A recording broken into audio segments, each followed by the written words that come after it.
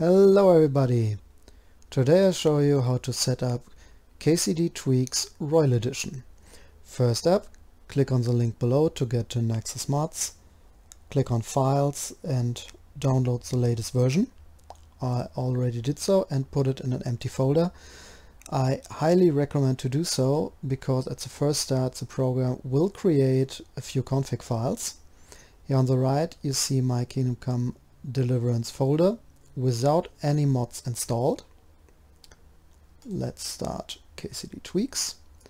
So you recognize this is the first start and creates the setting files and ask me where the game is installed. I have the GOG version by the way.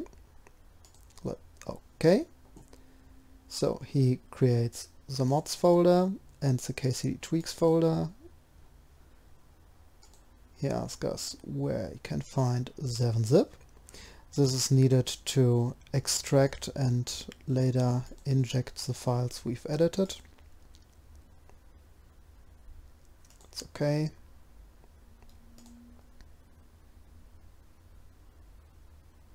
And here we are. The extracted files are in this folder, XML files. Now we see he has recognized the correct path to the game and to 7-zip. All folders are present. Now we can change a few things around.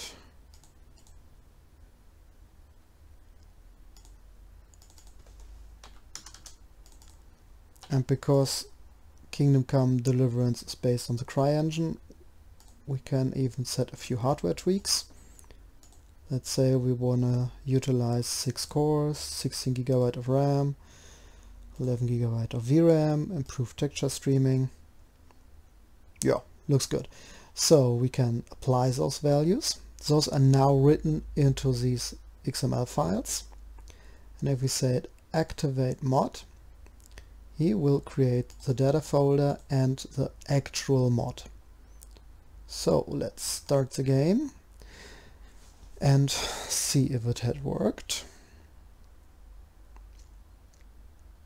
And it doesn't matter how strong your rig is, this game takes ages to start.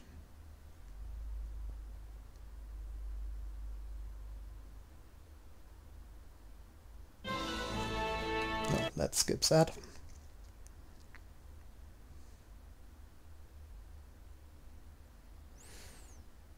We love loading screens. Because we love loading screens so much, we directly take the next. Yay, loading screen.